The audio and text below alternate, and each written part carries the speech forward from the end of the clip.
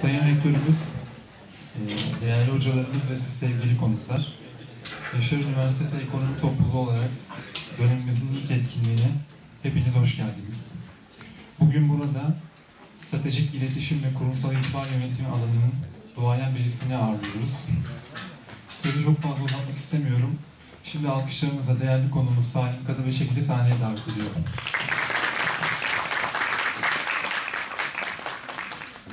Ederim.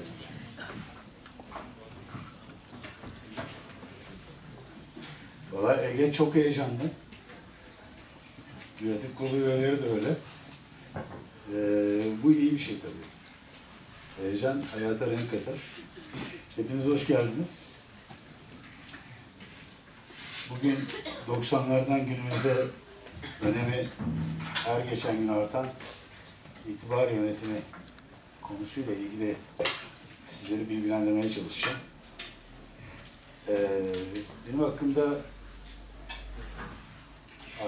ismime aşina olanlar şöyle bir el kaldırsın. Bu bayağı iyiymiş. Neyse yani e, detaylı bilgi salimkadıveşegil.com orada bulabilirsiniz. Bunlar sosyal medya hesaplarım. Yaz, buradan takip edebilirsiniz ben çalışmalarım. Sesi biraz ee, birazcık yükselt, biraz şöyle ton, tonunu şey yapabilir misin? Evet, çok ha. Tamam, gayet çok. Evet, şimdi bu kitapla daha çok tanıyorum ben. Bu 1900, e, 2006 yılında çıktı bu kitap. İşte 5 senede yazılması sürdü. Demek ki 20 yıllık bir yolculuk var yani bu kitabın içinde. Şu anda 8. baskısında yaptığına göre e, iyi bir kabul görüyor. Şöyle söyleyeyim, e, bu kitapların 8-9 tane kitabım var ya, ticari amaçla yazılan kitaplar değil bunlar. Örneğin bu kitabın telif gelirini Buğday Derneği'ne bağışlıyoruz. Diğer kitaplar da öyle. Ee, bugün size daha çok anlatacağım konular daha çok e, 2012 yılında çıkmış bu kitabın içinde yer alan konular. E, oyun bitti.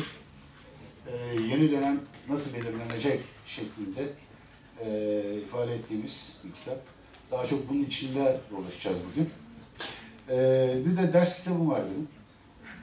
Ee, Anadolu Üniversitesi Açık Öğretim Fakültesi e, Reklamcılık ve Halkla İlişkiler Bölümü e, bu itibar yönetimi dersini koyunca benden de bir ders kitabı yazmamı istediler. Bu kadar akademisyen varken dedim, niye bana yazmıyorsunuz? Ondan sonra ben akademisyen değilim çünkü böyle formatım. Hocam dediler, biz oraları geçtik, sen bunu yaz dediler. Rektörden de bir yazı getirdiler, yazdık. Şu anda bu Türkiye'de birçok üniversitede ders kitabı olarak okutuluyor. Hani ders içeriği boyutunda da konuyla ilgilenirseniz elinizde içinde testleriyle, sınav sorularıyla birlikte değerlendireceğiniz bir başka kaynak var. Şimdi temel sorun ne? Bu kitabın alt başlığının altında bir tane soru var. Bakın diyor ki orada, itibarınızı yönetmekten daha önemli bir işiniz var? Şimdi bakın temel soru bu. 2000'li yılların başıydı.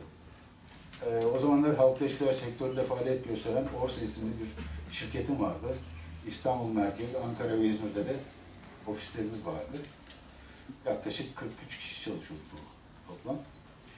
O dönem için bayağı yani iddialı bir işin peşindeydik yani. Ben de entelektüel anlamda kendimi zenginleştirmek için bir şeyler yapıyordum. O dönemde de şans yemekleri diye bir şey icat ettim. İzmir'deki, pardon İstanbul'daki ofisimiz Levent'te. Oraya çok yakın bir şans restoranı var. Ve bu şans restoranında her ayın ilk pazartesi günü şimdi sayacağım katılımcılarla biz bir araya geliyorduk. Bütün gece boyunca, zaten akşamları da kimse olmuyordu orada. Bütün gece boyunca tartışıyorduk, konuşuyorduk, ayrılıyorduk. Katılımcılar arasında şu anda dünyada Microsoft'un 7 numarası olan, o dönem Siemens Business Services'ın CEO'su olan e, Çağlayan Erkan vardı. İşte bu İzmir metrosunun ilk metro güzergahını yapan, dünyadaki en önemli metro projelerini yapan yapı merkezi şirketinin onursal başkanı Doktor Ersin Araoğlu var. İşte gazeteci yazar Necati Doğru vardı. Gazeteci yazar Doktor Şeref Uğuz vardı. Benim proje ortağım Selim Oktar vardı. Biz böyle bir altı kişi her ayın ilk pazartesi akşamı orada toplanıp, gündemsiz toplanıp ama birbirimizin entelektüel anlamda zenginleşmesine ışık tutacak bir konu zenginliğini paylaşırdık. O yemeklerden bir tanesinde benim ağzımdan bu soru çıktı. İtibarınızı yönetmekten daha önemli işiniz var mı diye soru çıktı. Ve bu sorunun tartışılmasından sonra ben halk ilişkiler sektöründen ayrılıp itibar yönetimiyle ilgili bir alanda yolculuk yapmaya karar verdim. Yani 2000'li yılların başında bu sorunun sorulmasının arkasındaki tartışmalar beni bugün karşınızda bunları anlatır noktaya getirdi. Şimdi çok basitçe ifade etmem gerekirse hani itibarı ne, hangi kavramlarla ilişkilendiriyoruz diye bakmak lazım.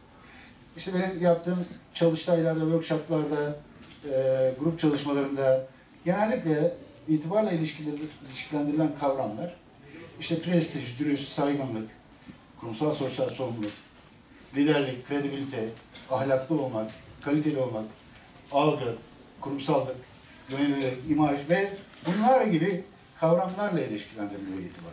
Yani itibarlı olmak meselesi bunlarla ilişkili olduğu takdirde bir anlam kazanıyor. İyi bunlar iyi güzel de yani neden iyi bir imaj sahibi olmak isteyelim? Niye prestijli olmak isteyelim? Niye et- etkili, iyi bir lider olmak isteyelim? Kaliteli olmak isteyelim? Yani faydası ne? Ne işe yarayacak bu itibar diye sorduğumuzda kritik soru zaten orada. Onun çıktısının üstünden hareket etmemiz lazım. Şimdi o çıktı bize karşımıza eee, güven olarak geliyor. Yani birinin bize güvenmesi veya güvenilir olma meselesinin peşindeysek onun bir öncesinde itibarlı olma meselesini çözmemiz lazım. Dolayısıyla itibarın altını ve içini dolduran kavramlar ister bireysel anlamda bu işi yönetelim, ister kurumsal anlamda yönetelim aynı kapıya çıkıyor. O şirkette çalışır mısın? Sorusu o şirkete güveniyorsanız çalışırsınız. Onunla evlenir misin? Güveniyorsanız evlenirsiniz. Onunla yolculuğa çıkar mısın? Güveniyorsanız yolculuğa çıkarsın. Onunla bu işi ortaklaşa yapar mısın? Ortak olur musun? İşte eee, birlikte şöyle bir projenin içinde yer alır mısın? Gibi soruların cevapları kafanızda farkında olmadan ben bu kişiye ne kadar güvenebilirim? Peki o zaman o güvene altını açtığınız zaman o, o itibarın oluşumuna neden olan kritik girdiler, ham maddeler karşınıza çıkıyor. Temel mesele yani bizim meselemiz güvenle ilgili mesele. Bu da çarşıda, pazarda satılan bir şey değil. Çok paranız olabilir ama dünyanın en güvenilmez insanı olabilir. Bu, bu böyle bir paradigma var işin içinde. Şimdi tarihten bir örnek vermek gerekirse 1900'lü yılların başında İstanbul'daki bakkallarda yani her şeyin satıldığı küçücük bakkallar vardı. İşte peynir alıyorsunuz, bulgur alıyorsunuz, şunu bunu alıyorsunuz, pirinç alıyorsunuz. Bakkal ne yapıyor? Terazinin bir köfesine bunları koyuyor. Öbür kefesine ne koyuyor? Öbür kefesine bir kalıp Hacı Şakir sabun. Bakın sabun istemediniz ama onu bir ağırlık birimi, ağırlık ölçütü olarak. Ne demek yani oraya bir kalıp Hacı Şakir sabunu koymak?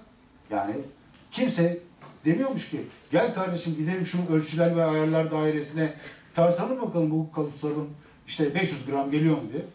Kimse sorgulamıyormuş bunu. Kimse sorgulamadığı içindir ki o bir kalıp Hacı Şakir sabunu bir güven simgesi olarak hayatımızın içinde yer. Dikkatinizi çekmek istediğim bir başka konu var orada. Güvenle ilişkili. O da ne? Şakir sabunu değil. Ne sabunu? Hacı Şakir sabunu. Ne oluyor peki hacı gelince başına? Ben bunu İngiltere'de bir uluslararası konferansta anlattım. Ve herkesin aklında da bu örnek kalmış yani. Çünkü hacı, hacı olma meselesi bir güvene yansıtılması meselesi. Yani nedir? Çalmaz, çırpmaz, değil mi? İşte dolandırmaz, sahtekarlık yapmaz, müşteriyi kandırmaz. Şunu yapmaz, bunu yapmaz. Mesele bu. güvenin yansıması olarak karşımıza gelen kısmı hacının bu. Yani itibarlı. Ya itibarlı. Ne zamana kadar? Bunlardan bir tanesini yapana kadar. O zaman hacı ifade olarak marka yönetiminde tüketiciyle arasında enteresan bir ilişkinin e, platformun kurulduğu bir zemin olarak görüyorum. Hacı Şakir bunun en güzel örneği. Tabii verebilecek başka bir sürü daha hacılı marka var. Hacı Muhittin gibi, Hacı Bekir gibi işte hacılar var hayatımızın içinde. Şimdi bu güven meselesi bizi nereye getiriyor? İtibarın yönetilmesi boyutunda.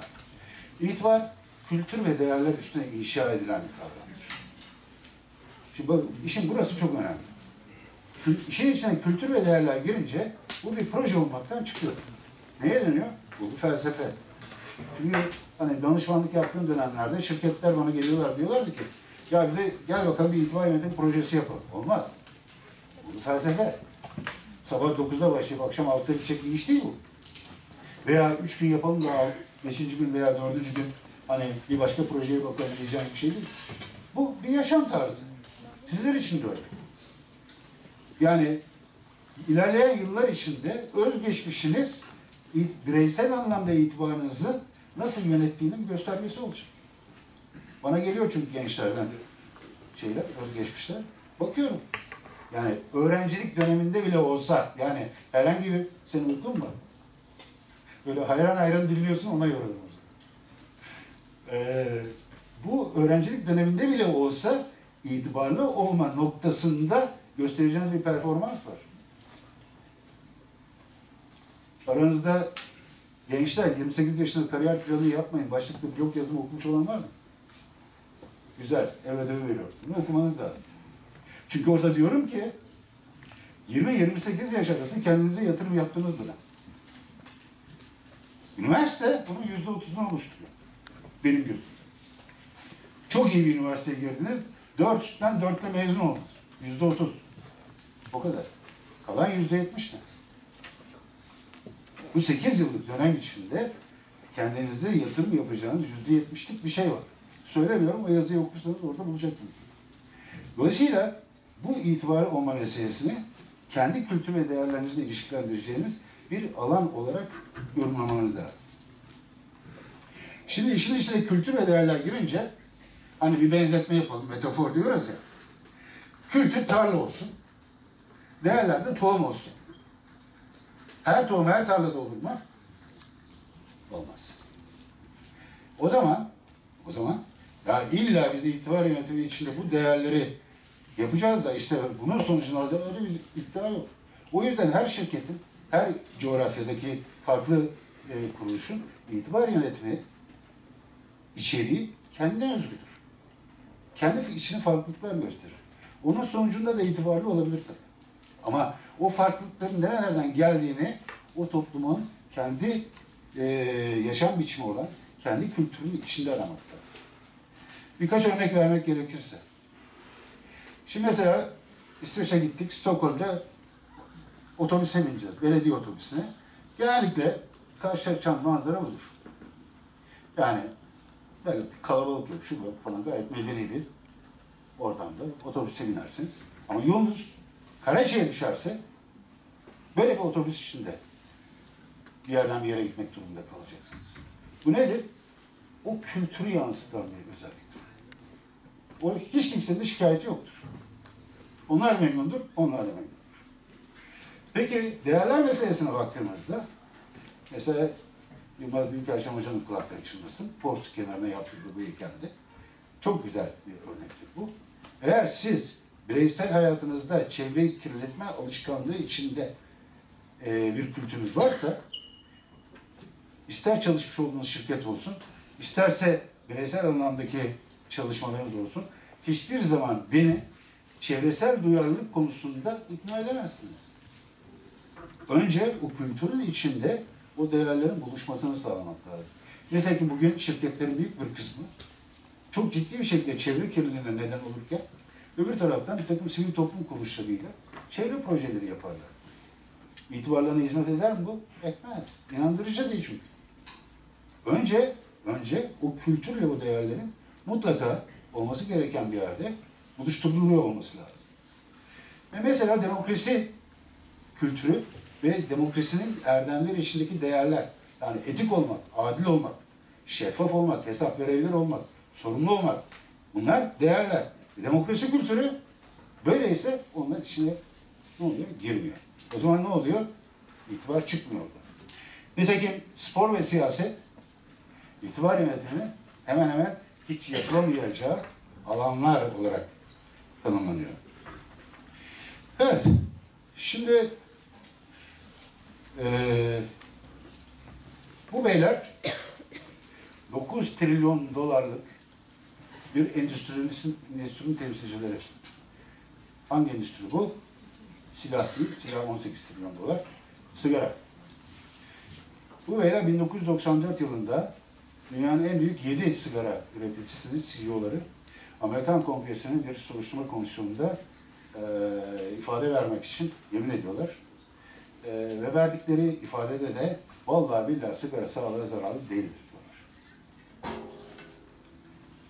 Ama bu şirketler o dönemin en çok para kazanan, oralarda çalışan yöneticiler en çok maaş alan, en e, gösterişli etkinliklere sponsor olan şirketlerden bahsediyoruz.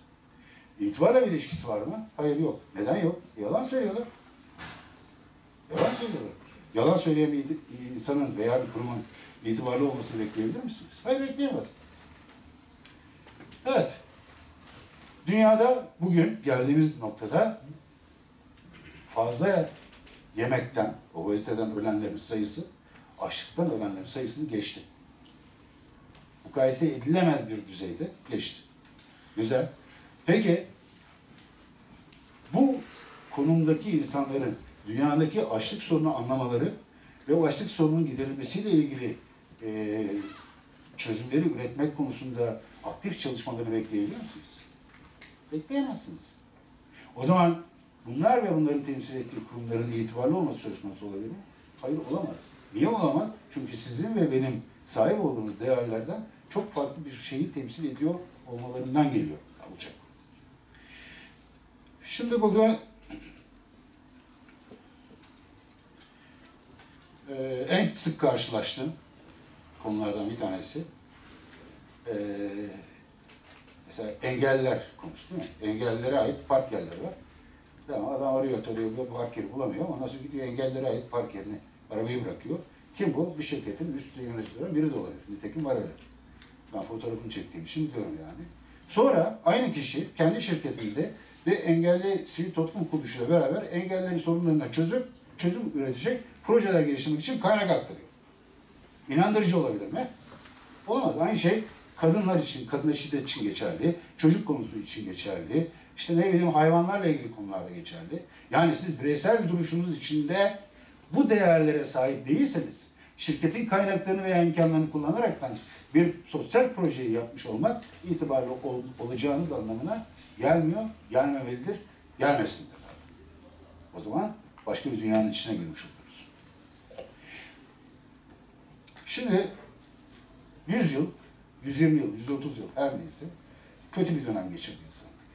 Ve tarihin başka kötü dönemleri de oldu da ama bu son 130 yıl kadar olmadı. Değerler olarak bildiğimiz, iyi bildiğimiz, ahlaki anlamda olanlar da dahil olmak üzere ne yaptık? Hepsini halının altına sürdük. Ne uğruna? Tüketim toplumuna dönüşmek için. Hepsini halının altına süpürdük. Peki o değerleri halının altına süpürdük de değer olarak karşımıza ne geldi? Yeşil bir banknot. Yani para değer oldu. Para değer olunca da ne derler? Ee, ne, neyin dengesi derler hocam? Eskiler güzel bir şey söyledi. Endazesi bozuldu derler. Yani yani bu kayıktaki adamın görselliğinde anlatmaya çalıştığım bir 130 yıl özünde gerçekten böyle yaşadım. Hiçbir şey değişmedi. Şimdi bunu nasıl yaşadık ona da bir bakalım. Rüşvet, yolsuzluk, suistimal, sahtekarlık, başarıya doğru, daha doğrusu para kazanmaya giden yolda kimsenin yadırgamadığı davranışlar oldu ve resmi verilere göre her yıl bir trilyon dolar throws Gelişmemiş ülke- gelişmemiş ülkelerdeki sağlık ve eğitim sorunlarını çözmek için President will be 25 leading milyar dolara New ihtiyaç election, 26th of February Bu. FIFA'nın başkanı. Uh, Beşinci kez başkan seçildikten sonra hakkında yolsuzluk, rüşvet ve suistimalle ilgili davalar açılınca valla ben masumum demek için bir basın toplantısı düzenledi ve o basın toplantısında oraya gelen bir aktivist onun e, rüşvet ve yolsuzlukla ilgili e, siciline kafasından aşağı bir tomar para ataraktan belgeledi. İşte yani ne oldu? Bir zamanların çok itibarlı bir markası olan FIFA günümüzde lekeli markalar liginin ana oyuncularından biri oldu. Neden? İtibarın ham maddesi olarak tanımladığımız etik olmak, adil olmak, şeffaf olmak, hesap verebilir olmak ve sorumlu olmak gibi ilkeleri benimsemediği ve o kurumu bu ilkelerini yönetmediği için. Dolayısıyla bu aslında işte o kayıttaki adamın bize neyi verdiğini, bize neyi yansıttığının göstergesi. Ve en yakın örneklerden bir tanesi Volkswagen değil mi? Yani ne uğruna 3 ayda bir prim alıyor bunlar. Borsadaki hisse değerlerinin ne oranda performans gösterdiğiyle ilgili prim alıyor bu yöneticiler. O primi alabilmek için gözümüzün içine baka baka yalan söylediler. Üstelik, üstelik eee, dünyanın en çevreci otomobili üretiyoruz diye reklam yaptılar. Gördük ki dünyada karbon monoksit oranı en yüksek aracı üretiyorlarmış. Çoluğumuzun çocuğumuzun zehirlenmesine giden süreç Çin'de aktif bir rol oynamalarına rağmen bu yalanı kendi çocuklara da dahil bu yalanı söyleyebiliyor insanlar. Oraya kadar gidiyor iş. Gittiği zaman ne oluyor? İşte güven savaşı. Ha günün sonunda bir şey oluyor mu? Tamam adamlar hapse gidiyor, haklarına dava açılıyor, şu oluyor, bu oluyor. Hayat devam ediyor bir yandan. Bu da bir gerçek. Buna da alışmamız lazım.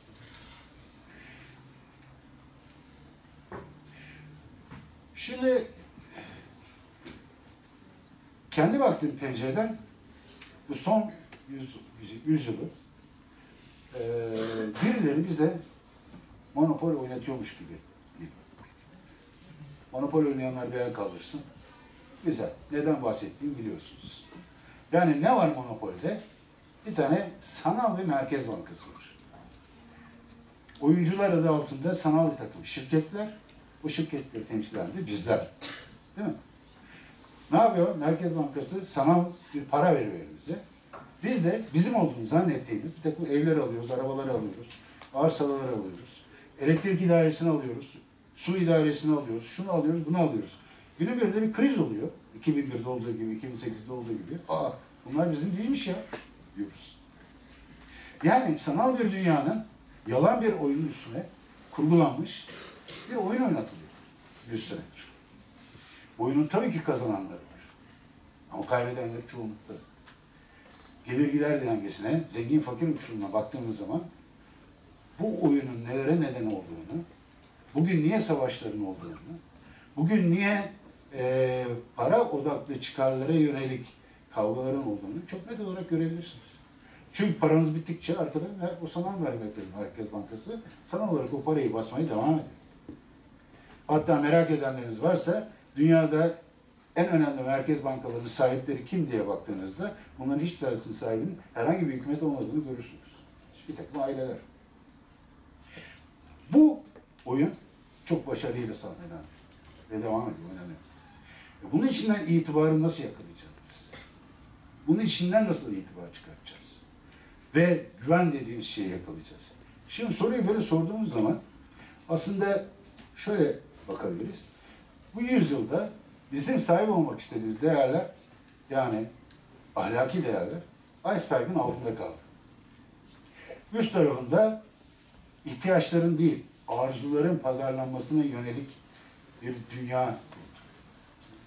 Yani ya o evde niye oturuyorsun? Bak burada ne güzel, daha güzel bir ev var. Baksana villa verelim. Orada otur. Yani aklımızda olmayan, kafamızda olmayan şeyler yani hayatımızın içine hayallerimiz olarak pazarlandı. Böyle pazarlanınca da tüketim oldu. Tüketim nereye yol açtı? bugün geldiğimiz noktada dünyanın kendi sürdürülebilirliğini yani su, enerji, yeşillik, hayvan, bitki faunası olarak kendi sürdürülebilirliğini tehlikeye atabilecek bir noktaya kadar bizi getirdi. Top topu 100 sene oldu. Şöyle düşünün, 1900'lü yıllara girerken dünya nüfusu 1.2 milyar insandı, bugün 7 milyar insan. Aynı kaynaklar mı? Yok. 100 yıldır bu kaynaklar da azaldı.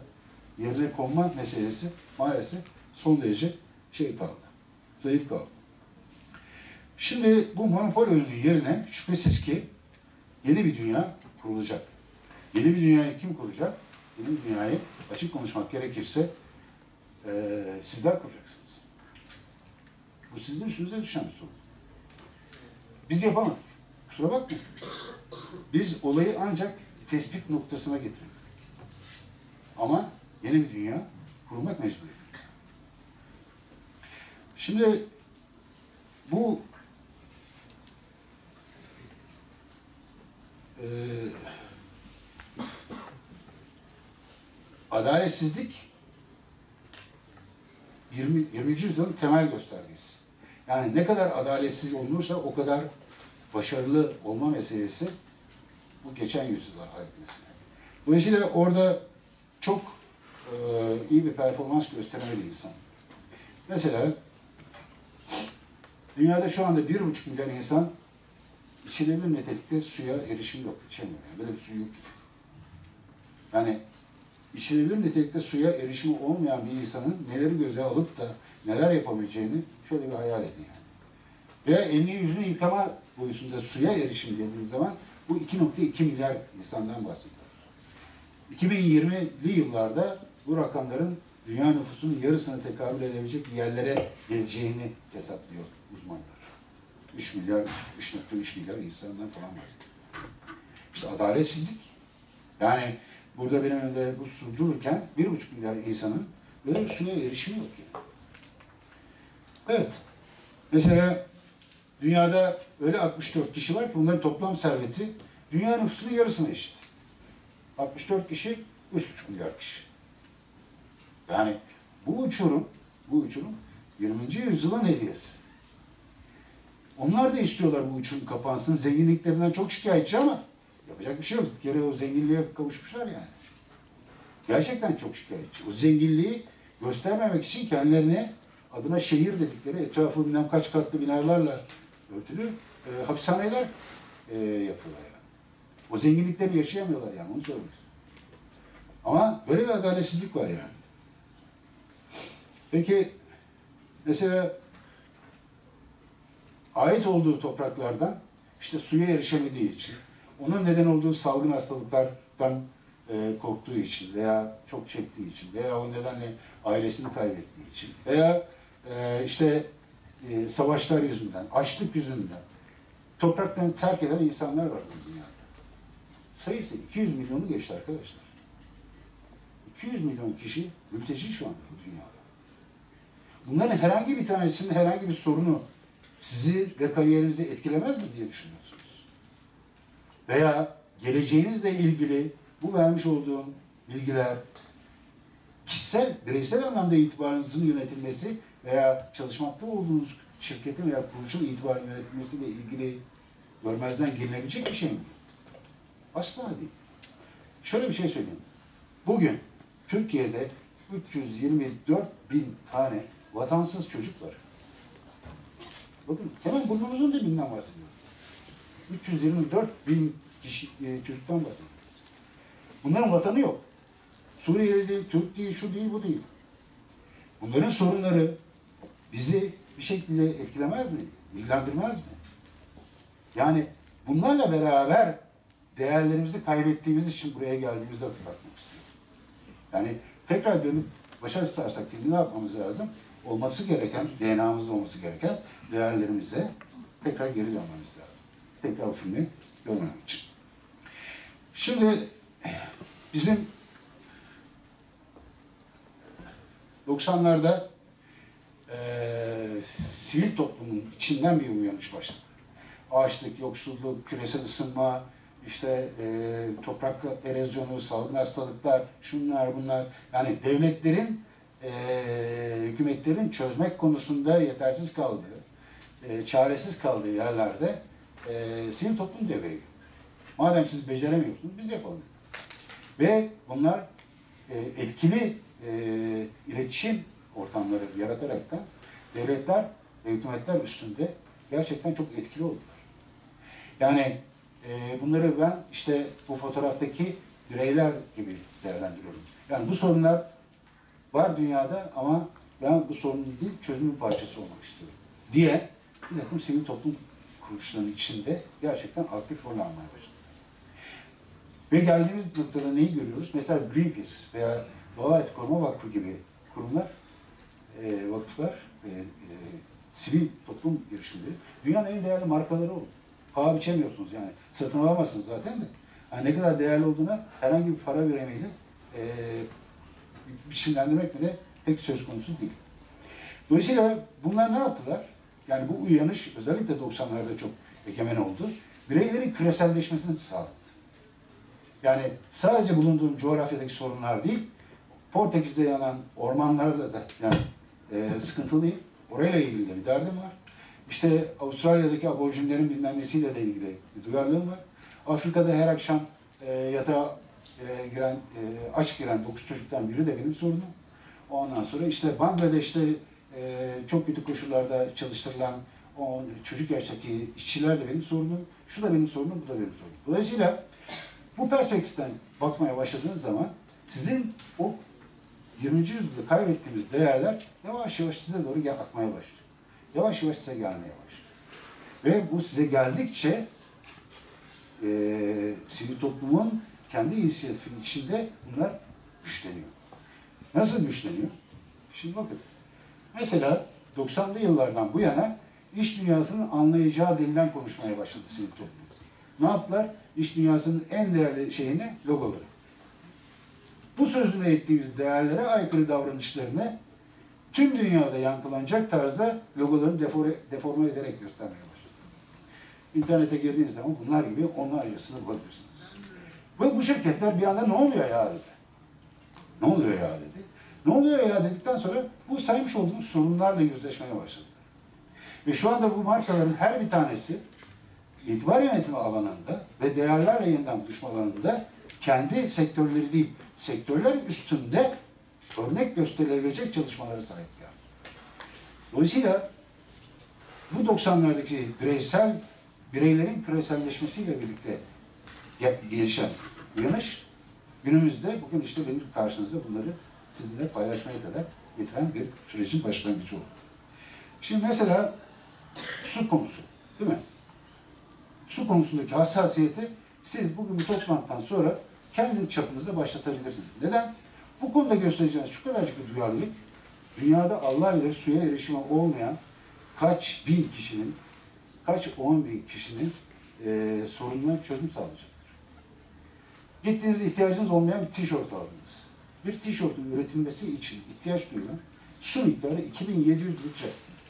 Herhangi bir tişörtten var. Herhangi bir tişört. Hanımlar çantalarınızı şöyle bir kaldırın havaya.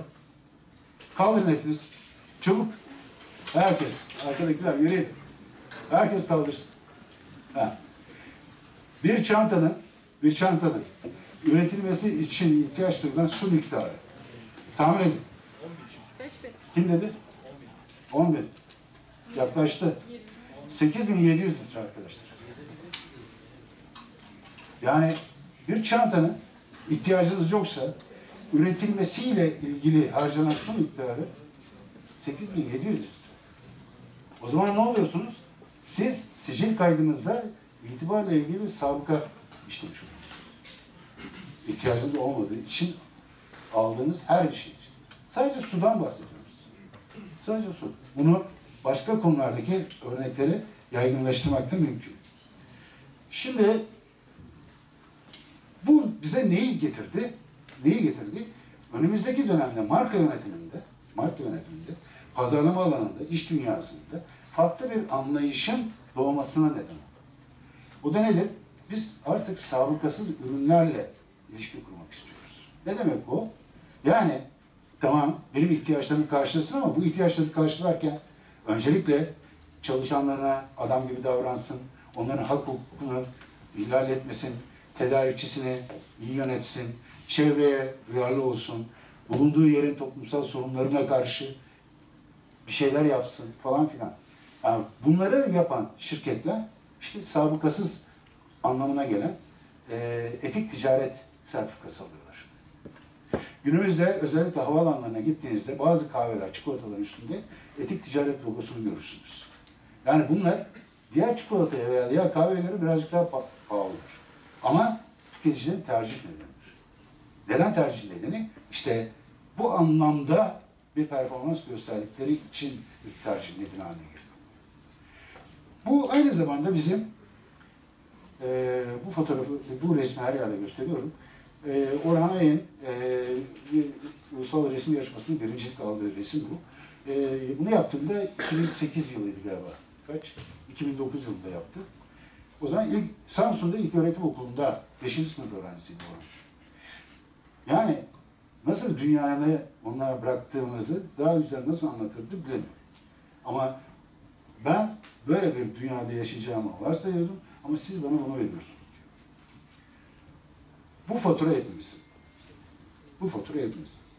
Dolayısıyla bu faturanın bedeli ancak değerlerimizle yeniden buluştuğumuz takdirde ödenecek bir boyuta bizi götürüyor. Şimdi biraz iş dünyasına taşıyalım konuyu genelde. Bizim arayış içinde olduğumuz mesele itibar yönetimci nasıl bir şirket? Hani üniversiteyi bitirdiniz bir yere başvuracaksınız değil mi? Soruyorsunuz yani nasıl bir şirket burası? Duymak istediğiniz nedir? Yönetim kalitesi iyi olan bir şirket olsun. Tamam mı? Yani kişisel gelişiminize önemsesin, size adam yerine koysun. Bir şey söylediğiniz zaman dinlesinler, geri bildirimde bulunsunlar. Değil mi? Böyle basit bir oyuncu gibi yedek kulübesinde bekletmesinler. Aktif olarak sizi çalıştırsınlar. Değil mi? Yani nasıl bir şirket sorusunun cevabını aldığınız yer aslında bizim itibar yönetimi olarak performans ölçümleri yaptığımız parametrelerin ta kendisi. Ta kendisi. Yani sorduğunuz başka şeyler de olabilir. Yani bu şirket finansal olarak sağlam mı? Sosyal sorumluluklarını yerine getiriyor mu? İşte ne bileyim e, ürün ve hizmetleri kaliteli mi? Sözünde duruyor mu? Bakın nasıl bir şirket eşittir itibar yönetimi. Bunlardan bahsediyorum size. Kolay değil tabii. Çünkü 1950'lerde ünlü yönetim- gurusu Peter Drucker bunu böyle söyledi. Bize işi doğru yapan değil, doğru ya- işi yapan liderler lazım. Herkes işi doğru yapabilir. Ama yapılan iş doğru mu tartışılır. Yani bugün özellikle savunma sanayi, alkol, işte şey, kimyanın e, plastik poşetler dahil olmak üzere bu geniş ürün gamında olan işlerin tamamı tamamı yani bizim karbon monoksit meselesi yüzünden e, ozonu delmemize neden olan işlerin tamamı açık konuşmak gerekirse işin doğru yapıldığını ama doğru bir iş olup olmadığını tartışılır endüstriler olduğunu bize getiriyor.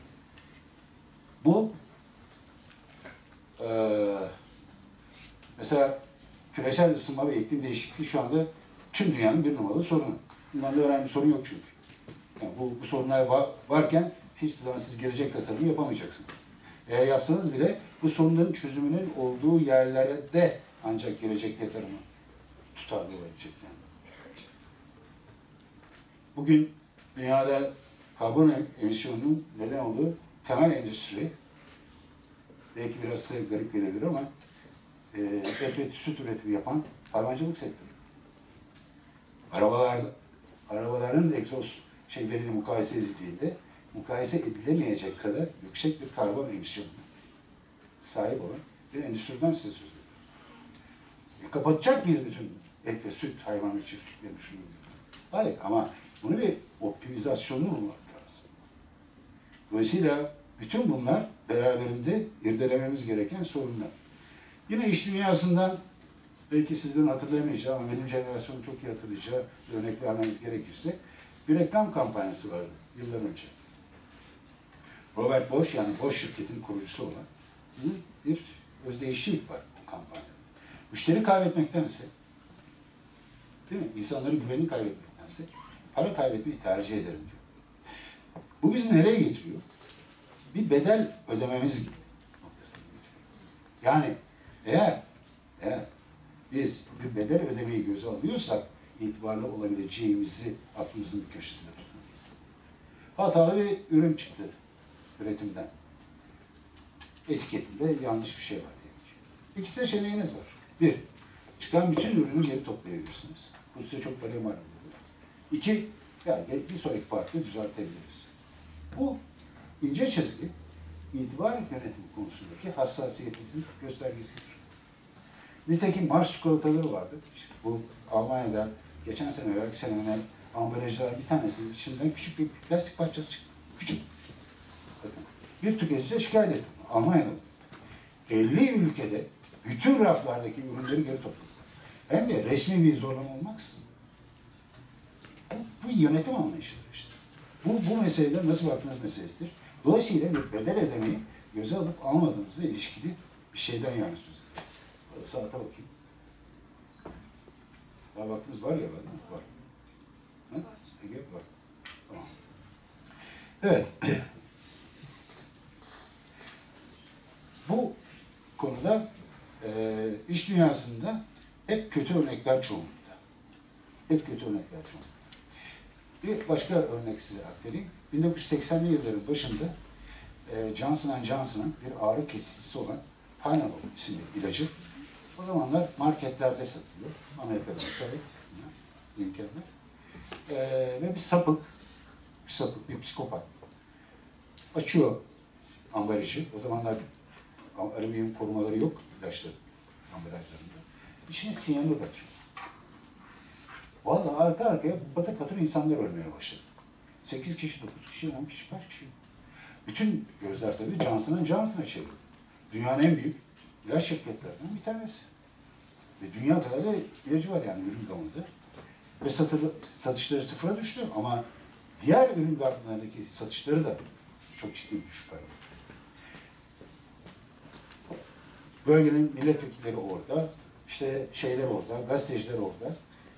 Valla dediler ki bu işte bizim günahımız yok. Yapacağımız tek bir tane şey var. O da resmi makamlarla sonuna kadar işbirliği. Nitekim bu işbirliğini yaptılar ve konu aydınlandı, ortaya çıktı. Ee, kendilerine herhangi bir günah olmadığı gerçeğiyle buluştular. Ee, ama ne yaptılar? O vidalı kapağı geliştirdiler. Bir de üstüne o alüminyum folyo koydular. O olaydan sonra bütün ilaç endüstrisi vidalı ambalaj ve alüminyum folyo olayına benimsedi. Ve krize girdiğinde 163 olan pazar payı 6 ay sonra 167'ye çıktı. Ne kurtardı onları? Ne kurtardı? Şu kurtardı. 1942'de yazılmış değerleri var. 1942'de. Our Credo der. Our Credo. Her Johnson Johnson işletmesinin kapısının girişinde kocaman bir şekilde durur. Her işe başlayanın ilk imzalaması gereken evrak o değerlerdir, kurumsal değerlerdir. Bu kriz başlarına geldiğinde yönetim kurulu nasıl bu işi çözeceğiz, ne yapacağız dediğinde yönetim kurulu başkanı demiş ya bizim değerlerimiz var, o ne söylüyorsa onu yapalım. Orada yazıyor çünkü. Açık olma, şeffaf olma, hesap verebilir olma bu değerlerin içinde var. İşte o değerlerdir ki Johnson Johnson'ın eee belki günahı yoktu ama toplum tarafından linç edilmişti. Oradan çıkaran gösterge o değerleri oldu. Bu değerlerle beraber bu iş yürüdü. Yani her şirketin kendi içinde bir bedel ödeme boyutu vardır. Ama kötü örnekler her zaman iyi örneklerden maalesef daha fazla. Mesela benim danışmanlık yaptığım dönemde danışmanlık almak isteyen şirketlerin büyük bir çoğunluğu başlarına bir tuğla düştüğü için bana geliyorlardı. Yoksa hani biz birbirimize bunu aldık. Hadi bunu da yapalım da yönetelim. Hani bir yerinden tutalım bu işi diye bir şey yok. Yani ya orada çalışanlarla ilgili bir kriz olmuş. Ya bir tüketici krizi olmuş. Ya bir finansal kriz olmuş. Ya bir şey olmuş yani. O zaman ne oluyor? O çıktı olmuyor. İki tane boyutu var çünkü itibar yönetiminde. Bir tanesi samimiyet. Bu çok önemli. İki, duyguları ifade etmek. Yani anlattığım şeylere bakın her bir tanesinin arkasında duyguları okşayan bir öykü var çünkü. O öykülerdir itibarı, itibar yapan. Ama samimiyse. Bu samimiyet boyutunu eğer gerçekten hayatın içine onlar alabilmişsin. Şimdi bizim bir itibar araştırmaları merkezimiz var. Adı Repman, Reputation Management'ın ilk gecelerinden geliyor yani. İstanbul'da bir platform bu. Her yıl bir forum düzenliyoruz. İşte beyin fırtınası toplantılarımız var. Bir tane de blogumuz var. Repman.com.tr Yani bu konulara ilgi duyarsanız orada epey bir çalışma var. Takip edebilirsiniz yani. Şimdi orada bazı araştırmalar yapıyoruz. Orada bazı araştırmalar yapıyoruz. Peter Drucker'ın da işaret ettiği gibi, Robert Bosch örneğinde de verdiğim gibi, bu iş liderlerle başlıyor arkadaşlar. Balık baştan kokar. Bizim merkez değil ama Harvard Business Review sormuş. Yani bu itibar meselesinde liderlerin rolü yüzde 84. Yani bu ne demektir? Bir şirketin liderinin gündeminde itibar konusu yoksa siz dışarıdan dünyanın en pahalı danışmanlarını tutun. En etkin teknolojisini getirin. Bunu yapın, bunu yapın. Olmuyor, yürümüyor yani. Ben de kendi profesyonel hayatımda bunu gördüm. Dolayısıyla lider boyutu bu işte en önemli nokta. Şeytan avukatlığını birinin yapması lazım. O işte şirketin en üstündeki adam olmalı. Yani bir yönetici olarak ben gelirim bunu yaparsak, bunu buradan alacağız, buraya çok para kazanacağız diyebilirim ama lider olarak onun itibarımıza yarın öbür gün halel getirecek bir mesele olduğu kafamı kurcalıyorsa boş paradan yapmayalım. Bir bedel ödemeyi göze alabilirim yani. Bunu ancak tepedeki adam yapar. Onun duyarlılığı yapabilir yani. Ve bu zor bir şey değildir. Yani dünyada itibar ligine girmiş şirketlere baktığınız zaman bu bedeli ödediklerini görüyoruz. Şeye bakıyorum, ne fayda sağlıyor şirketlere? Yani hadi 90'lı yıllarda bunun karşısındaydılar. Yani çok duyarlı değillerdi, şu değildi, değildi. Şimdi hemen hemen her şirketin, özellikle küresel şirketlerin e, bir şekilde benimsediği bir itibar yönetimi anlayışı var. Çünkü iş sonuçlarını etkiliyor, bunu gördüler. Bilançoyu etkiliyor yani. Nasıl etkiliyor? Mesela nitelikli iş gücü itibariyle şirketler çok önemli bir. Yüzde 76 mesela itibarın e, o şirketlerle ilgili göstergesi yüzde 76. Yani ne demektir? Yani sizler mezun olduktan sonra gönlünüzde yatan aslan olarak tanımladığınız şirket bu şirket için rekabette çok önemli bir avantaj olabilir. Sizin varlığınız. Başka şirkete gideceğinize onu sizin kendisini, kendinize çekmesi için onun yapması gereken şey itibar liginde kendini göstermesi ve orada o oyun oynaması. Ya da girdiğiniz bir şirkete başka şirketten teklif geldi. Çok da cazip bir teklif. Gidecek misiniz, gitmeyecek misiniz? Yani şirkete olan bağlılık meselesi yine itibarla ilgili performans alanlarının yönetilmesinden geliyor.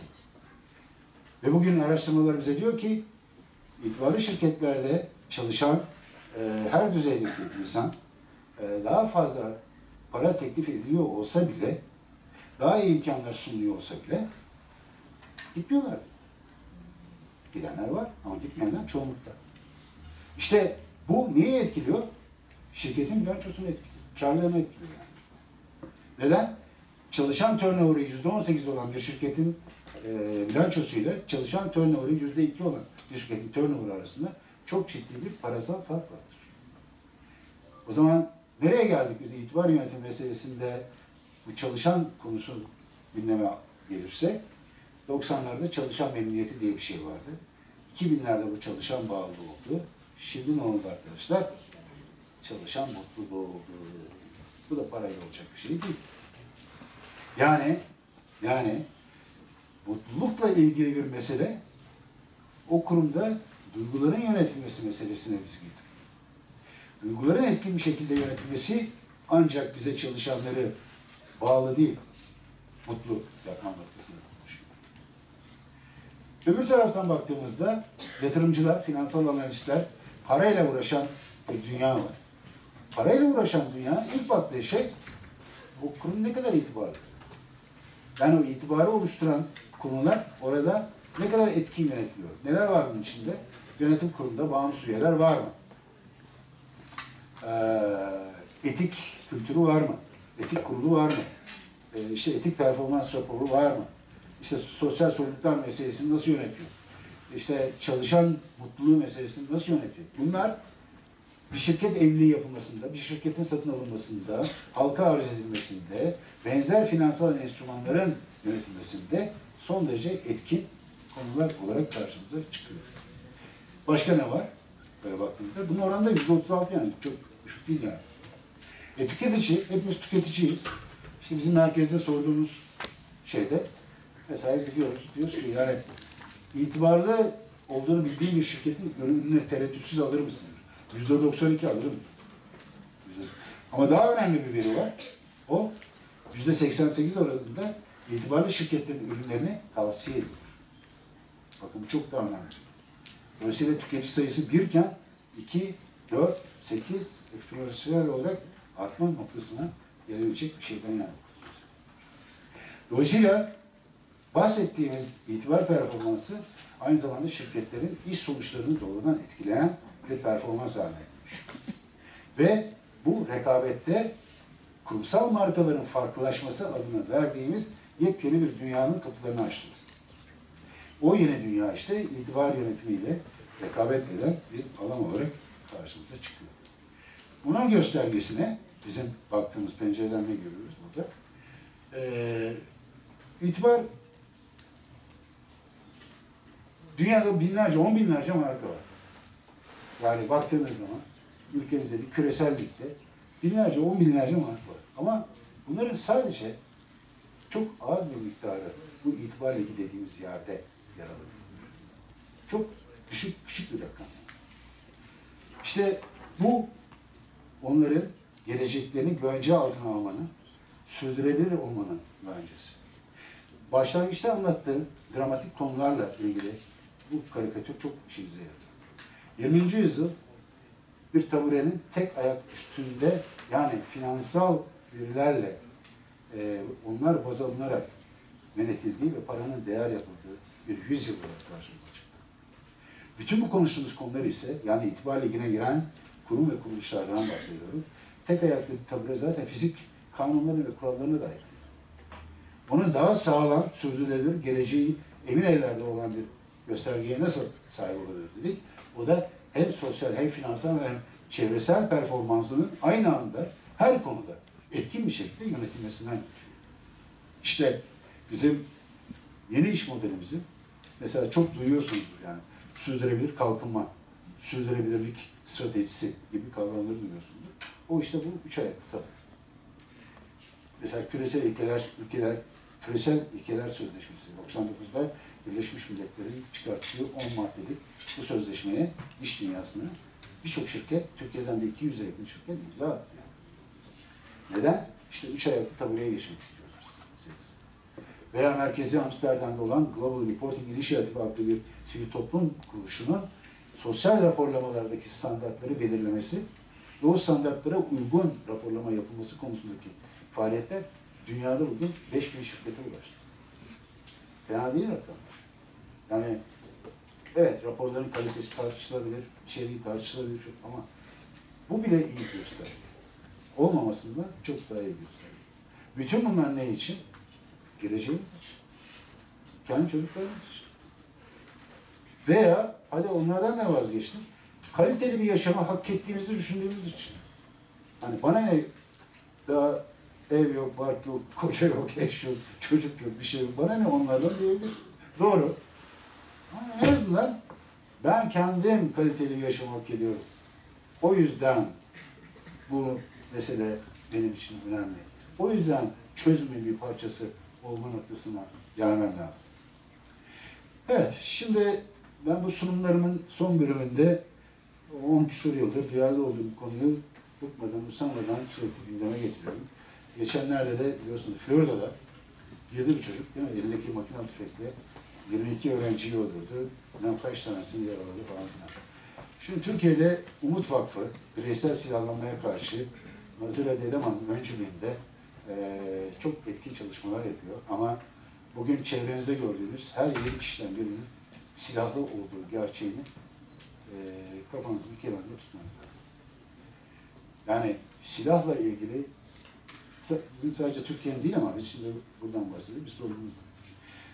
Ben o vaktin çalışmalarını çok takdir etmekle birlikte onun bir alt basamağında yani 6, 7, 8, 9, 10'lu yaşlarda anne babaların çocuklarına oyuncak silah meselesini e, vermelerini e, karşısına istiyorum. O, yani bir şekliyle oyuncak silahın kötü bir şey olduğu, oyuncak bile olsa kötü olduğu, ölmek, öldürmek, yaşamı aldırmak, yaşama son vermek, ne bileyim aklınıza gelebilecek birçok şeyin o silahla beraber bir sonraki aşamada bilgisayardaki benzer oyunlara, daha sonra işte futbol maçlarına, işte e, caddelerde, sokaklarda, kahvelerde taşlı, sopalı, silahlı e, saldırılara dönüşme eğiliminin başlangıcı olarak o yaşları. Psikologlar da ve pedagoglar da bunu destekliyor. Yasaklamak da çözüm değil. Yani gidip de bunu yasaklayıp onları ikna etmek lazım. Onları ikna etmek. Mesela Yeni Zelanda'da bir çocuk oyuncak silah istediği zaman annesi babası ikna edemiyorsa polise götürüyorlar. Polis ikna edemiyorsa ona geçici 6 aylık bir ruhsat veriyor. Çocuğa 6 yaşında, 7 yaşında çocuk. Bunu diyor 6 ayda bir değiştirmen lazım. Veya dünyanın farklı yerlerinde farklı uygulamalar var. Bu şekilde. Dolayısıyla sizlerden isteğim ve destek, beklediğim destek kendinizde, çevrenizde veya toplumun içinde 6, 7, 8, 9, 10'lu yaşlarda e, oyuncak silahın e, kötü bir şey olduğu ve çocukların bunun kötü olduğu konusunda ikna edilmesi gerektiğiyle ilgili bir performans göstermenizi rica ederim. Bu konuda bana destek verecekler veya kaldırsın. Salonun yarısı ayağa kaldırdım. Değil mi? Şaka diyorum. Herkes kaldırıyor. Evet. Teşekkür ediyorum. Söyleyeceklerim benim bu kadar. Beraber sorular içinde bir beş dakikamız falan var. Değil mi? Ondan sonra eee sorularla da ilgili ben size ay- aydınlatmaya çalışayım. Mikrofonumuz var. Burada. Mikrofonda bana yardımcı olacak biri herhalde gelir. Hocam bir arkadaş gelir. Evet. Öncelikle bir alkış kalitesinden göreyim. Sunumun tatminkar mıydı?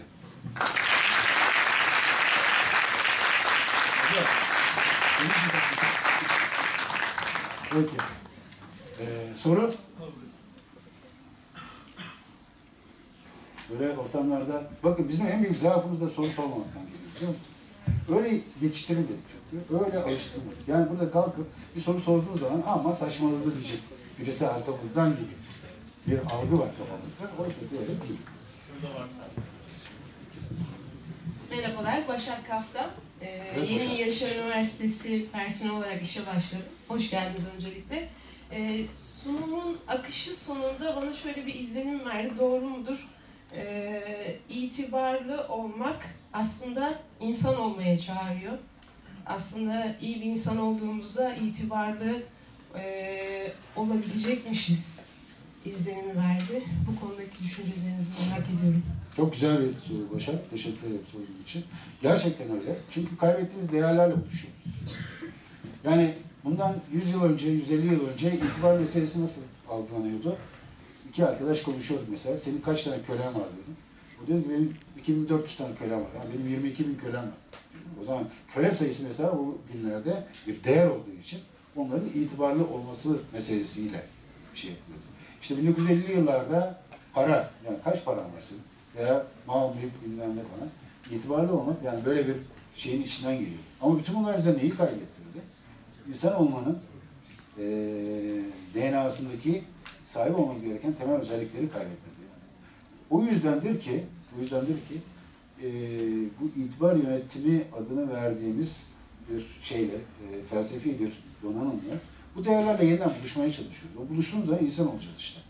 İnsan olmanın gereklerini yerine getiriyor. E, verdiğim örnekler o yüzden oraya şey. Yani eğer e, bir buçuk milyon insan bugün şu suyu içemiyorsa e, duşta harcadığınız zamanı yaktığınız suyun miktarını belki iki dakika kesebilirsiniz. Üç dakika kesebilirsiniz. Çok basit bir şey ama etkisi çok yüksek bir şey. O, onu düşünüyor olmak işte o kaybettiğimiz değerlerle yeniden buluşmaya giden bir yolculuğun başlangıcı haline geliyor. Yani ihtiyacınız yokken işte o çantayı almaktan vazgeçtiğiniz an aslında çok büyük bir şey yapmış oluyorsunuz. Çok çok büyük bir şey yapmış oluyorsunuz. İhtiyacınız varken tabii ki ayrı. Ama e, o kararı vermek, bilinçli olarak vermek önemli. İşte insan olmakla ilgili temel meselelere karşı çözümün parçası olma noktasında sizin duyarlı olduğunuzu gösteriyor. Teşekkür ederim soru için. Yok, iş dünyasında kurumsal itibar yönetimi. Şimdi itibar insan olmaksa, itibar o tür hasletlere erişmekse, yönetmek daha çok böyle işletsel bir şey oluyor. Yani o hasletleri yaratmak ayrı. O hasletler sizde yoksa nasıl yöneteceksiniz? Önce onu şey yap, kazanmak lazım değil mi? Orada bir sanki dilemma var. İtibar yönetilir mi, itibar kazanılır mı? Ben onu merak ettim. Çok güzel bir soru. Öncelikle sorundan başlayayım. Ee, bu iş sonuçları olarak tanımladığımız e, ana başlıkların altını oluşturan performans alanlarını yönetiyor. Yönetmeye başlıyor. Mesela tüketicinin ürün ve tercihlerinde ondan yana tavır alması için o şirketin mesela biliyor olması lazım. İşte müşteri odaklı politikalarını ne, tanık olmuş olması lazım çalışanlarına değer verdiğini, adam yerine koyduğunu görüyor olması lazım. İşte bunlar altına araştırmamız var bizim 12 sektörde 116 şirketi e, sorguladık. E, orada 0 ile 100 arasında bütün bu 7 ana boyutta 18 kriterde şirketler bir not alıyor. Kimisi 45 alıyor, kimisi 60 skor almak lazım. 65 ve 69 alan şirketler e, niyet niyetli olan şirketler. Yani itibar yönetimlemeye başladı. Rakiplerle aramız açılmaya başladı. Tüketici tercihleri, nitelikli çalışan tercihleri oralarda yoğunlaşmaya başladı. Dolayısıyla henüz belki bir iki kişinin gündeminde var ama daha hiçbir hareket yok. 60 ve altını zaten söylemek istemiyorum. Sunumumuzun başında verdiğiniz örnek aslında o açıdan çok puanın hiç öyle bir şey olmayacak yani. Dolayısıyla bizim uzmanlar olarak baktığımız yerden gördüğümüz şu, itibar liginde olmak için 70 ile 79 arasındaki bir skoru yönetmek lazım. Bu 7 ana boyutta eee 18 falan kriterde bunları yönettiğiniz zaman gerçekten o ligde yer alıyorsunuz. Yani o ligde yer almak ne demek? Bir kere karlılık konusunda herhangi bir sıkıntınız yok. İki, gelecek tasarımı ile ilgili bir sıkıntınız yok. Ondan sonra sürdürülebilirlik meselesini zaten kökten çözmüş oluyorsunuz. O zaman ama bir tek şart var işte orada, samimi olacaksınız. O samimiyet yoksa hiçbir şey yok. Evet, çok teşekkür ederim hepinize. Sağ olun, var olun. Benim kontak bilgilerim var burada. İstediğiniz zaman istediğiniz gibi yazabilirsiniz. Hepinize yardımcı olmaya çalışırım. Ege, sana da çok teşekkür ediyorum.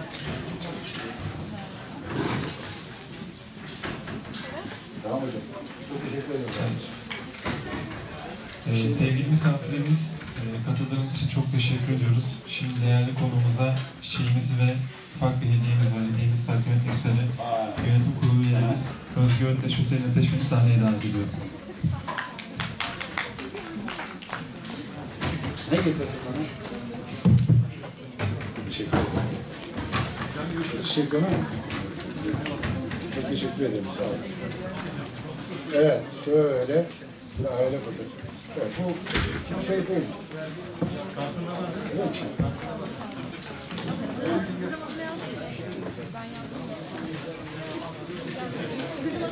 Evet.